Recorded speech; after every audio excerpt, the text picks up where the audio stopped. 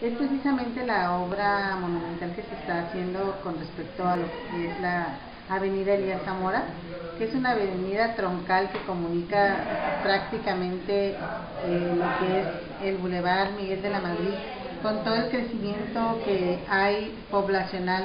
aquí en Salagua, puesto que recorre desde el barrio 1 en el Valle de las Garzas hasta entroncar con la avenida Las Hadas, la avenida Manzanillo que va a Las Hadas, y que no olvidemos que esa misma avenida Elías Zamora va a ser prolongada en, un futuro hasta atravesar lo que es todo Santiago, la zona norte, por así decirlo, y lograr comunicar el centro de Santiago con el centro de Salado. Entonces es una avenida muy importante. También decirte que acabamos de recibir ya las obras aprobadas para el 2015 con lo que es el Fondo Federal y que estamos contentos porque dentro de esas obras viene una, una de las calles principales de San Agua que comunica precisamente el Boulevard Miguel de la Madrid con la Avenida Elías Zamora, entonces eh, viene el cemento hidráulico, eh, mi petición es que ojalá se hagan las otras calles que también son troncales y que comunican este tipo de realidades porque eh, recordemos que este tipo de, estas calles son tan viejas que tienen un drenaje eh, sanitario hecho de tubos de cemento, lo cual ya no está permitido de acuerdo a la norma. ¿Y en alumbrado público también eso entrará ahí? Mm, claro, o sea, eh, ayer estábamos viendo precisamente con el presidente que mañana nos tenemos que reunir junto con algunas presidentas alrededor de lo que es la obra, que estamos hablando de Paraísos al Agua, Méndez Arceo, este, tu servidora que también es presidente de Colonia Arboledas, eh, Nuevos al Agua, eh, Marimar 1, Marimar 2, Marimar 3, para que veamos todo el flujo con respecto a,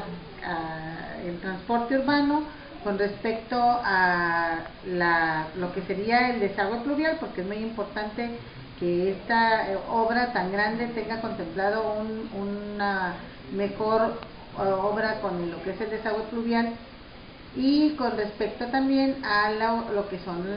pues los, los detalles que va a ocasionar esta esta obra con respecto a desviar la circulación no nada más de transporte urbano sino de la gente en general. Este, ¿Les comentaron cuánto se le va a destinar a lo que es la delegación de Salagua? En lo de Fondo Federal, en lo de Fondo Federal no tenemos ahorita un costo aquí total, pero es una cantidad aproximada entre 4 a 5 millones por lo que logré ver ahí eh, puede aumentar más, te voy a decir por qué, porque aparte viene el fondo deportivo, entonces vienen 200 mil para una cancha, 300 mil para una techumbre en cuestión de escuelas, vienen varias obras con, viene la escuela La Tapí, viene lo que es eh, la Santos Valdés,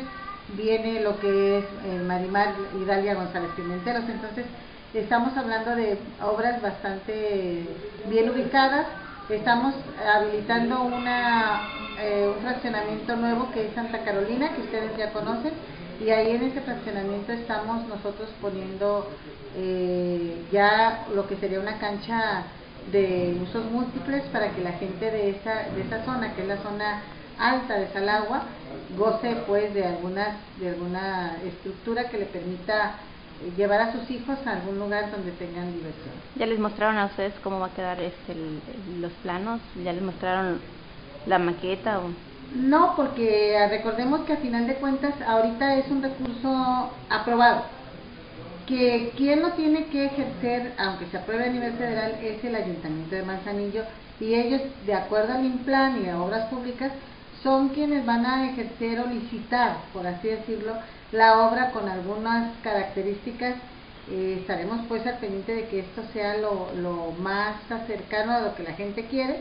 y que quede más a satisfacción de la gente que lo que uno piense como autoridad, porque nosotros públicamente no vivimos ahí, pero sí nos gustaría que el lugar quedara de acuerdo a como la gente le gusta y. ¿Algo más que quiera agregar? Pues darte las gracias por estar siempre pendiente de las noticias de Salagua y saludos a tu mamá.